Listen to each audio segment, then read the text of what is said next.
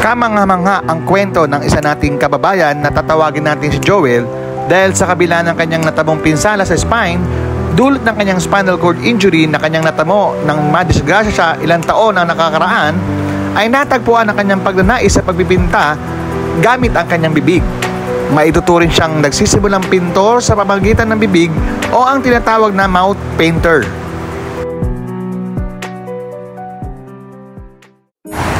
Ang mouth painter o ang isang pintor sa pamamagitan ng bibig ay isang tao na gumagawa ng sining sa pamamagitan ng paghawak ng isang pinsel o iba pang kasangkapan sa sining sa kanilang bibig sa halip na gamitin ang kanilang mga kamay.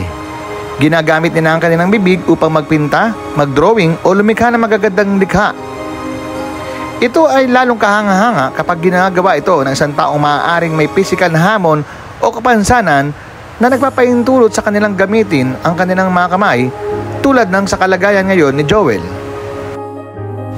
Ang kanyang pagmamahal sa pagpipinta ay hindi lamang nagpapakita ng kanyang patuloy na paglalakbay ng pag-asa at katatagan, kundi ito rin ay isang naka-inspire na patunay sa kanyang kamanghamanghang diwa. Lalong-lalo na habang kinaharap niya ang kanyang mga hamon ng pinsanang spinal cord injury.